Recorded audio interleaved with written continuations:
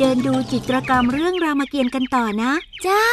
ฉันก็อยากดูอยากถ่ายรูปให้ครบทั้งเรื่องเลย แต่จะว่าไปมุมนี้ก็สวยนะ มาถ่ายรูปกันดีกว่าอืมอืมอืมแมวแมวอุ้ยอุ้ยอืมตรงนี้ล่ะ สวย อ้าวหนึ่งสองอีก้ายไปไหนล่ะ นั่นสิเก้าแต้มเก้าแต้มจ้าไม่เอา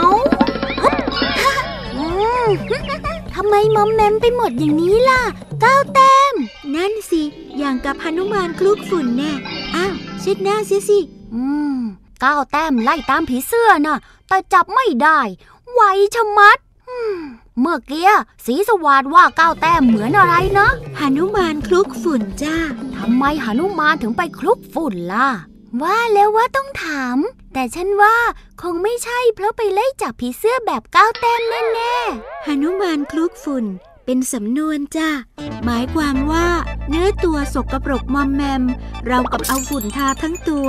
สำนวนเนี้ยมีที่มาจากเรื่องรามเกียรติ์ตอนหนุมานฆ่ามายราบ มายราบผู้ครองเมืองบาดาล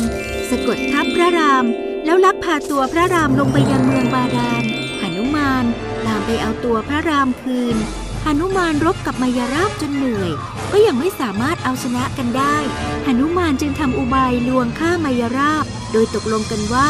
ให้เอาต้นตาลสามต้นบิดรวมกันเป็นอาวุธสำหรับตีกันผลัดกันตีคนละสามที มายราบเป็นฝ่ายตีก่อนอ้า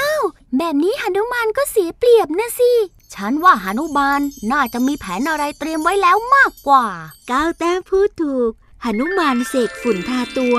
ทำให้อยู่ยงคงกระพันมายราบจึงไม่สามารถทำอันตรายหนุมานได้ เมื่อถึงคราวของหนุมานหนุมานตีมายราบตายหนุมานคลุกฝุ่นเลยยังเป็นชื่อคาถาที่เชื่อกันว่า เมื่อเสกฝุ่นโรยตัวแล้ว จะทำให้ฟันแทงไม่เข้าไงล่ะอืมฮะอืมอุ้ย นี่ก้าวแต้มไปเสกฝุ่นโรยตัวมาบ้าง จะได้อยู่ยงคงกระพัน ใช่ ฉันว่าจะเป็นภูมิแพ้กันหมดมากกว่านะก้าวแต้มใช่